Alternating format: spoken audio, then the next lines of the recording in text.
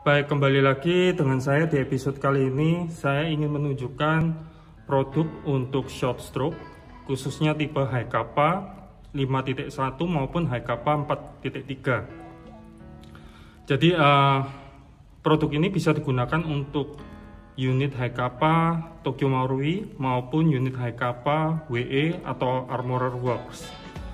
Jadi uh, seperti yang anda lihat di sini, saya akan mulai dari yang sebelah kiri dari sebelah kiri ini, ini merupakan model yang pada umumnya kita jumpai. Yang merah ini merupakan ukuran 1 cm, yang sedangkan yang oranye ini merupakan ukuran 0,5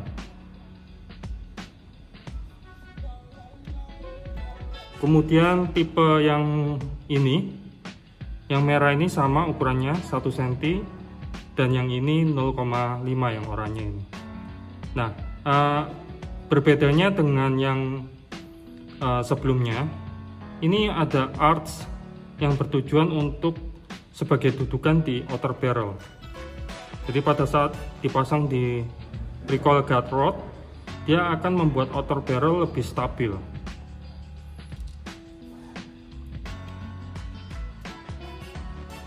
Sedangkan ini yang model bintang ya atau yang seperti gear ini sama juga yang merah ini ukurannya 1 cm sedangkan yang oranye ini ukurannya 0,5 ini sama bedanya tidak ada tidak ada bedanya dengan yang model bulat hanya saja bentuknya aja yang menyerupai gear. Merupakan sebuah variasi aja. Uh, fungsinya sama aja. Kemudian yang ini merah ini ukuran 1 cm sedangkan yang oranye ukuran 0,5 sama halnya dengan yang model bulat tadi. Dengan ada archnya ini tujuannya untuk sebagai dudukan. Dudukan di outer barrel. Jadi outer barrelnya lebih stabil dan tentu uh, hasil tembakan juga lebih uh, lurus. Baik saya akan tunjukkan cara pemasangannya. Saya akan mulai dari produk uh, Tokyo Marui. Jadi di depan saya ini ada sebuah unit Tokyo Marui. Ini merupakan high kappa 4.3 sedangkan yang ini merupakan unit WE atau Armorer Works 5.1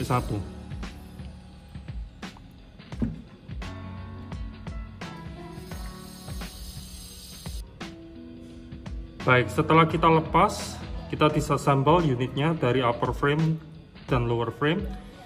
Ini merupakan sebuah recoil guide rod uh, merek Tokyo Marui standar ukurannya ini ukuran diameter dari recoil guide rod ini adalah 7.9 jadi 0,79 uh, cm atau 7.9 mm dan uh, ada sedikit perbedaan di antara uh, diameter bagian ujung dengan uh, bagian bawah.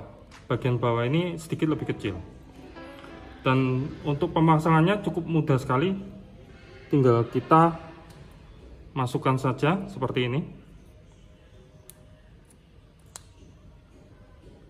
Dan kita sesuaikan dengan ukuran yang kita inginkan. Jadi untuk bagi yang belum paham apa itu short stroke.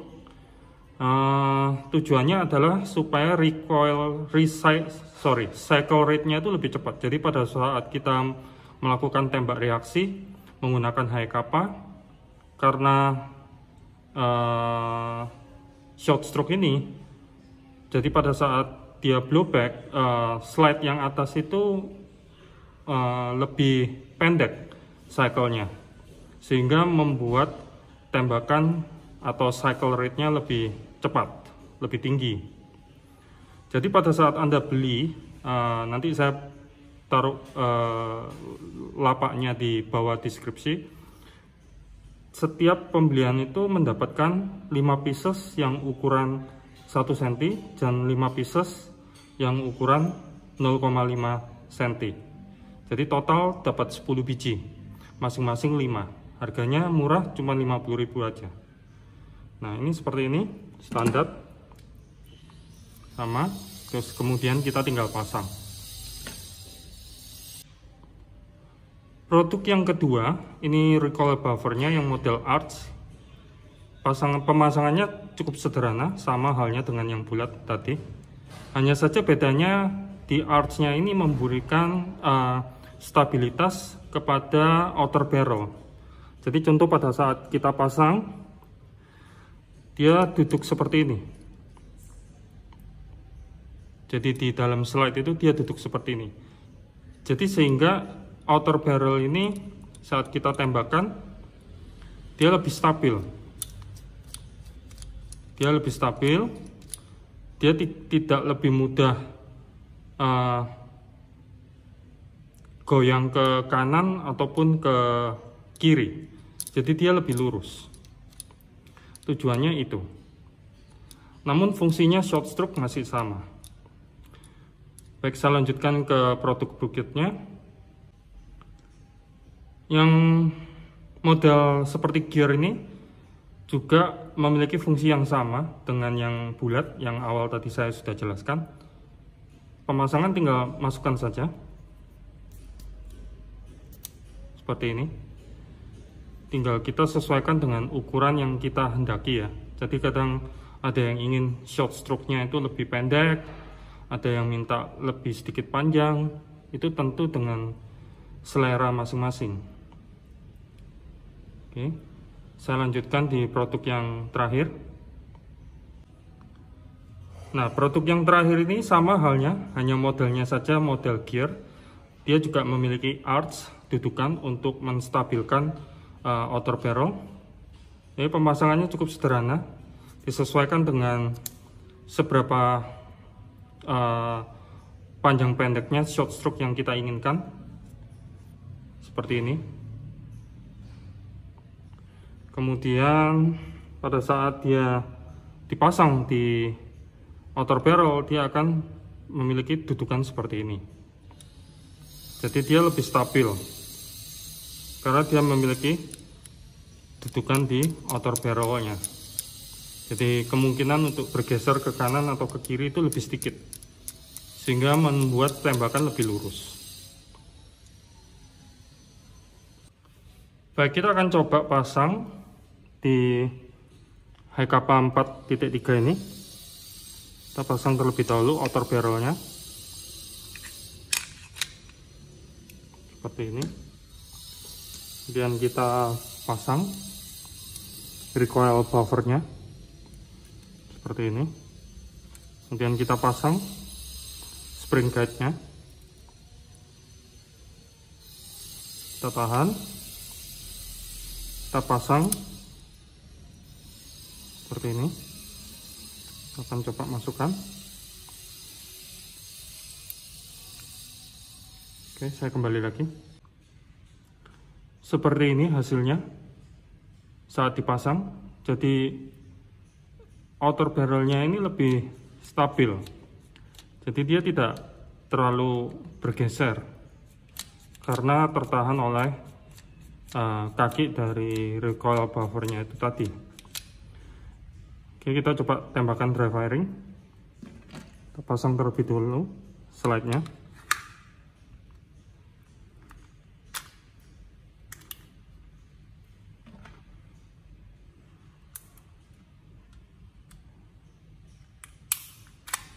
seperti ini.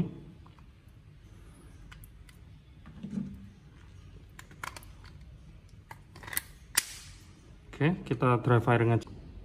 Baik kita akan coba untuk dry firing. Uh, slide tidak mengunci ya karena kita short stroke tadi itu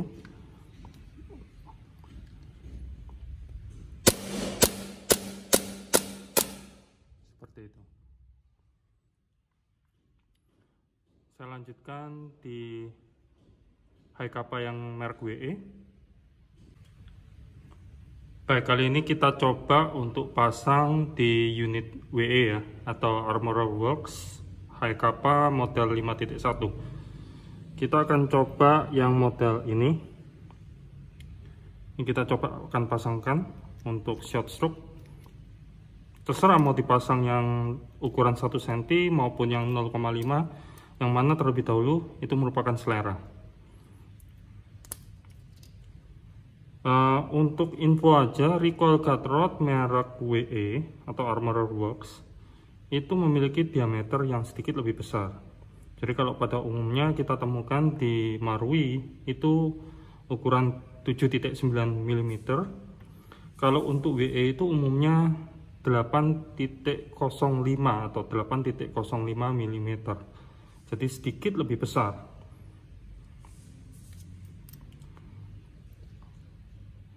Seperti ini bentuk pemasangannya.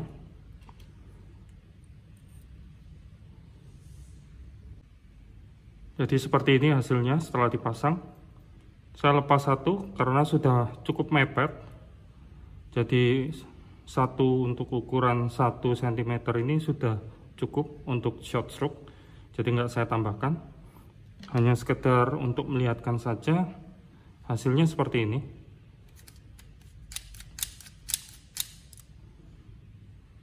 kita coba dry firing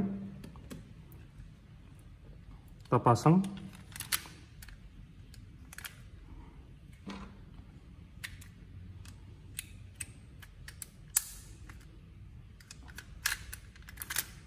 mungkin masih bisa ya short stroke uh, untuk apa namanya?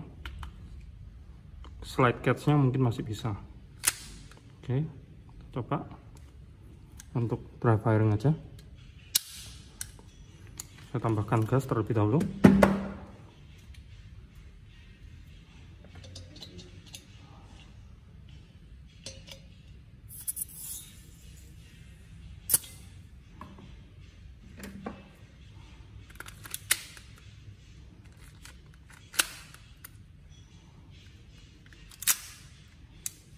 Oke, kita dry firing.